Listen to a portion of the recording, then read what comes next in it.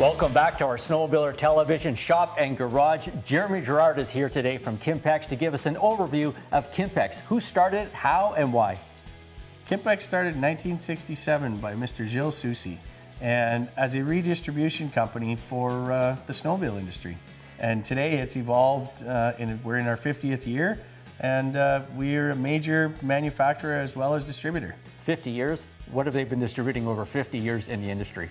Well, we've distributed everything from tracks to suspension parts, um, idler wheels, all the way through to a full line of uh, clothing and accessories.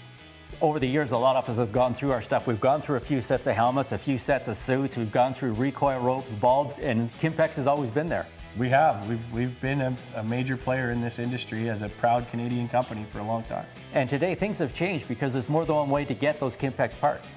Yeah, so we've got a new online site called Kimpex.com, which allows the consumer to basically go online and shop, and all while supporting their, their local dealer.